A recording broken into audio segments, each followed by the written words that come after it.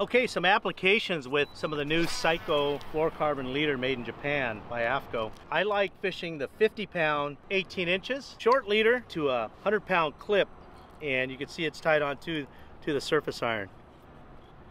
Okay, and then from there, I'm fishing it with 80 pound uh, Max Quattro on a nine foot Teramar jig stick, medium heavy, rated to 40, and a Tranx 500. So you can fish smaller tuna, yellowtail, and calico bass. Why such a long jig stick?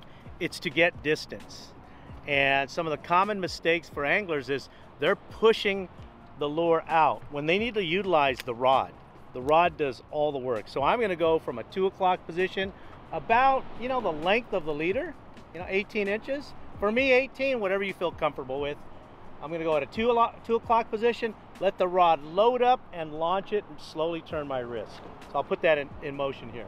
Two o'clock, 18 inches, turn your wrist, hit the water. Once I hit the water, I'm gonna start a nice steady wind.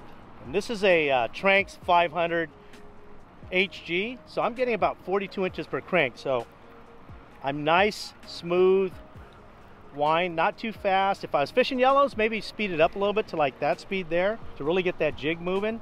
So again, the cast to get to the fish will get better results than a short cast, whether you're fishing live bait or jig. Again, let the let the equipment do all the work. Two o'clock, nine o'clock,